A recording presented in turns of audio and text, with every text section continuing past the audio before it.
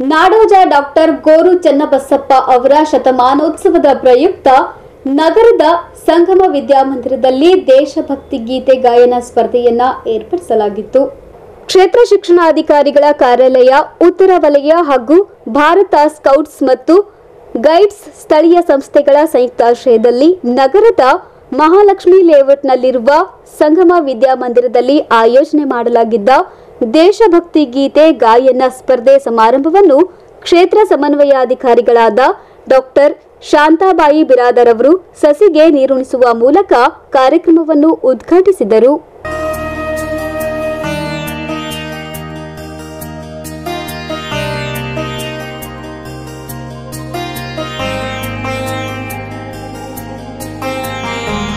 ತಾಲೂಕು ಮಟ್ಟದ ಗೀತ ಗಾಯನ ಸ್ಪರ್ಧೆಯಲ್ಲಿ ಕಬ್ಸ್ ಬುಲ್ಬುಲ್, ಸ್ಕೌಟ್ಸ್, ಗೈಡ್ಸ್ ಮತ್ತು ರೇಂಜರ್ಸ್ ಮಕ್ಕಳು ಭಾಗವಹಿಸಿ ದೇಶಭಕ್ತಿ ಗೀತೆಗಳನ್ನು ಹಾಡುವ ಮೂಲಕ ಗಮನ ಸೆಳೆದರು.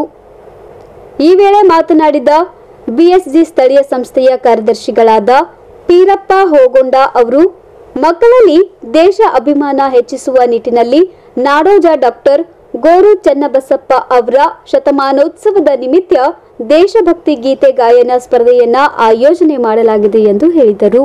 ನಾವು ಇಟ್ಕೊಂಡಿದ್ದೇವೆ ಇದರಲ್ಲಿ ಏನಪ್ಪ ಅಂದ್ರೆ ಈಗಾಗಲೇ ನಮಗೆ ಆದೇಶದಂತೆ, ಆ ಸ್ಕೌಟ್ ಮತ್ತು ಗೈಡ್ಸ್ ಮಕ್ಕಳು ಏನಪ್ಪ ಅಂದ್ರೆ, ಒಂದು ತಂಡದಲ್ಲಿ ಎಂಟು ಮಕ್ಕಳಂತೆ ಏನಪ್ಪ ಅಂದ್ರೆ ಭಾಗವಹಿಸಲಿಕ್ಕೆ ಅವಕಾಶ ಇದೆ. ಅದೇ ರೀತಿ ಕಮ್ಸ್ ಮತ್ತು ಬುಲ್ಸ್ ಮಕ್ಕಳು ಏನಪ್ಪ ಅಂದ್ರೆ ಪ್ರತಿ ತಂಡದಲ್ಲಿ ಆರು ಮಕ್ಕಳಂತೆ ಭಾಗವಹಿಸಲಿಕ್ಕೆ ಅವಕಾಶ ಇದೆ. ಇವ್ರಿಗೆ ಏನಪ್ಪ ಅಂದ್ರೆ ದೇಶಭಕ್ತಿ ಗೀತೆ ಇದೆ. ಅದೇ ರೋವರ್ಸ್ ಮತ್ತು ರೇಂಜರ್ಸ್ ಪಿ ಯು ಸಿ ಮತ್ತೆ ಡಿಗ್ರಿ ಕಾಲೇಜ್ ಮಕ್ಕಳು ಏನಪ್ಪ ಅಂದ್ರೆ ಆರು ಮಕ್ಕಳಂತೆ ರೋವರ್ಸ್ ಮತ್ತು ಆರು ಮಕ್ಕಳಂತೆ ರೇಂಜರ್ಸ್ ಎರಡು ತಂಡಗಳಾಗಿ ಜಾನಪದ ಗೀತೆಯನ್ನು ಅವರಿಗೆ ಹಾಡಲಿಕ್ಕೆ ಇಲ್ಲಿ ಅವಕಾಶ ಇದೆ. ಇಲ್ಲಿ ಯಾರು ಆ, ವಿಜೇತರಾಗ್ತಾರೆ ಅವರಿಗೆ ಜಿಲ್ಲಾ ಮಟ್ಟಕ್ಕೆ ಹೋಗ್ಲಿಕ್ಕೆ ಅವಕಾಶ ಇದೆ. ಅದಕ್ಕೆ ಅಲ್ಲಿ ಕೆಲವರು ವಾದ್ಯಗಳು ತಂದಿದ್ರೆ ನಿಮ್ಮ ಸ್ವಂತವಾಗಿ ನೀವೇ ಬಾರಿಸ್ಬೇಕು ಎಂಟು ಜನದಲ್ಲೇ ಒಬ್ರು ಬಾರಿಸ್ಬೇಕು. ಮತ್ತು ಹೊರಗೆ ಟೀಚರ್ಸ್ ಅವರು ಬಾರಿಸಂಗಿಲ್ಲ. ಮತ್ತೇನಪ್ಪ ಅಂದ್ರೆ ಏನಾದರೂ ವಾದ್ಯಗಳು ಅಥವಾ ಸಂಗೀತ ಟೀಚರ್ ಇದ್ರೆ ಅಂದ್ರೆ ಅವರು ಸಪೋರ್ಟ್ ಮಾಡಿ ಎಲ್ಲ ರೆಡಿ ಮಾಡಿಕೊಟ್ಟು ಅವ್ರು ಅವ್ರಿಗೆ ಓದ್ಕೋಬೇಕು. ಆಮೇಲೆ ರೆಡಿ ಅಂದ ತಕ್ಷಣ ನಾವು ಹಾಡಲಿಕ್ಕೆ ಪ್ರಾರಂಭ ಮಾಡಬೇಕು.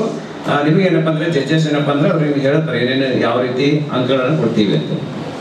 ಇನ್ನ ಸ್ಕೌಟರ್ ಗೈಡ್ ಸಮಾವೇಶ ಏನಪ್ಪ ಅಂದ್ರೆ ಯಾಕೆ ಮಾಡ್ತೀವಿ ಪ್ರತಿ ವರ್ಷ ಅಂತಂದ್ರೆ, ಒಂದು ತಮ್ಮ ಒಂದು ದಳವನ್ನ ನವೀಕರಣ ಆಗಬೇಕು. ನವೀಕರಣ ಅಂದ್ರೆ ನೋಂದಣಿ ಆಗ್ಬೇಕು. ಅದು ಆಗಲಿ ಅಂದ್ರೆ ನಿಮ್ಮ ಪಡೆದಿರ್ತಕ್ಕಂಥ ತರಬೇತಿ ಏನಪ್ಪ ಅಂದ್ರೆ ರದ್ದು ಆಗ ಆಗುವಂತ ಒಂದು ಸಂಭವ ಇರ್ತದೆ. ಅದೇ ಪ್ರತಿ ವರ್ಷ ಏನಪ್ಪ ಅಂದ್ರೆ ನಾವು ಮೋಸ್ಟ್ಲಿ ಎರಡು ನೂರ ನಲವತ್ತೆರಡೇನು ಇದು ಅಮೌಂಟ್ ಮತ್ತೆ ಐವತ್ತು ರೂಪಾಯಿ ಅಂದ್ರೆ ಶಿಬಿರ ನೋಂದಣಿ ತಗೊಳ್ತೀವಿ. ಟೋಟಲಿ ಸ್ಕೌಟ್ ಗೈಡ್ಸ್ಗೆ ಎರಡು ನೂರ ತೊಂಬತ್ತೆರಡು ರೋವರ್ಸ್ ರೇಂಜರ್ಸ್ಗೆ ಒನ್ ಫಾರ್ಟಿ ಏಟ್ ಸಣ್ಣ ಮಕ್ಕಳಿಗೆ ಕಪ್ಸ್ ಮತ್ತು ಬುಲ್ಬುಲ್ಸ್ ಏನಪ್ಪ ಅಂದ್ರೆ ಒನ್ ಫಾರ್ಟಿ ಏಟ್ ಇದೆ. ಇದನ್ನ ಪ್ರತಿ ವರ್ಷ ಕಟ್ಟಿ ನೋಂದಣಿ ಮಾಡ್ಕೊ ಮಾಡ್ಕೊಳ್ಳೇಬೇಕು ಯಾಕಪ್ಪ ಅಂದ್ರೆ ನೋಂದಣಿ ಆಗಲಿಲ್ಲ ಅಂದ್ರೆ ನಮ್ಮ ಒಂದು ರಾಜ್ಯ ಪುರಸ್ಕಾರಕ್ಕೆ ಹೋಗ್ಬೇಕಂತ ಮಕ್ಕಳಿಗೆ ಅವಕಾಶ ಅಲ್ಲಿ ನೀಡಲಾಗೋದಿಲ್ಲ. ಅದಕ್ಕೆ ಪ್ರತಿ ವರ್ಷ ಏನಪ್ಪ ನಿಮ್ಮ ದಳವನ್ನು ನೋಂದಣಿ ಮಾಡಬೇಕು. ಹಾಗೆ ನಾವು ಏನು ಮಾಡ್ತಾ ಇದ್ದೀವಪ್ಪ ಅಂದರೆ ಇವಾಗ ಪ್ರತಿ ವರ್ಷ ಅಮೌಂಟ್ ಕಟ್ತೀವಿ ಶಾಲೆಗೆ ಹೋಗ್ತೀವಿ ಇಲ್ಲಿ ದಳವನ್ನ ಏನಪ್ಪ ಅಂದರೆ ನಾವು ನಡೆಸೋದೇ ಇಲ್ಲ. ಅಮೌಂಟ್ ಕಟ್ತೀವಿ, ಬಿಟ್ಬಿಡ್ತೀವಿ. ಆದರೆ ದಯವಿಟ್ಟು ನೀವು ಏನಪ್ಪ ಅಂದರೆ ಏನು ನೋಂದಣಿ ಮಾಡ್ತೀರಿ, ನೋಂದಣಿ ಆದ ತಕ್ಷಣ ನಿಮ್ಮ ಶಾಲೆಯಲ್ಲಿ ಹೋಗಿ, ಆ, ಮೂವತ್ತೆರಡೇ ಮಕ್ಕಳಿಗೆ ಅಥವಾ ಇಪ್ಪತ್ನಾಲ್ಕು ಮಕ್ಕಳಿಗೆ ಅಂತಲ್ಲ ಕೊನಿ, ಕನಿಷ್ಠ ಕನಿಷ್ಠ ಒಂದು ಪೆಟ್ರೋಲ್ ಅಂದ್ರೆ ಆರರಿಂದ ಎಂಟು ಮಕ್ಕಳು ಇದ್ದರೂ ಶಾಲೆಯಲ್ಲಿ. ಇಲ್ಲ. ಕಾರ್ಯಕ್ರಮದಲ್ಲಿ ಸ್ಕೌಟ್ಸ್ ಜಿಲ್ಲಾ ಆಯುಕ್ತರಾದ ಎಸ್ಪಿ ಸುಳ್ಳದ್ ಸಂತೋಷ್ ಡಿಗ್ಗಿ, ಜ್ಯೋತಿ ಇಂಬಾಪುರ್ ಅಮರೇಶ್ ಕೋರಿ, ಸುಮಂಗಲ ಕೋರಿ, ಡಾಕ್ಟರ್ ಅವಿನಾಶ್, ನರ್ಸಿಂಗ್ ರಾಠೋಡ್ ಸೇರಿದಂತೆ ಸಂಸ್ಥೆಯ ಅಧ್ಯಕ್ಷರು ಹಾಗೂ ಪದಾಧಿಕಾರಿಗಳು ಉಪಸ್ಥಿತರಿದ್ದರು. Bureau report, in Gulbarga news.